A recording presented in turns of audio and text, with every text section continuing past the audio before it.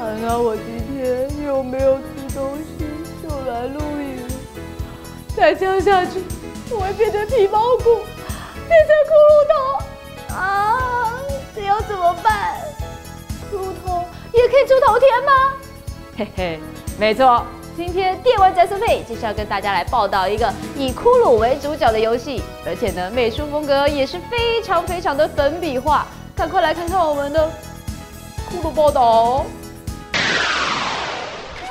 刚好在 PS Vita 推出的《Dokuo，骷髅人》目前已经推出行动游戏版本喽。在 PS Vita 广受好评的《Dokuo》是一款粉笔绘画风的动作冒险游戏，游戏画风相当独特，画面灰暗却十分有趣。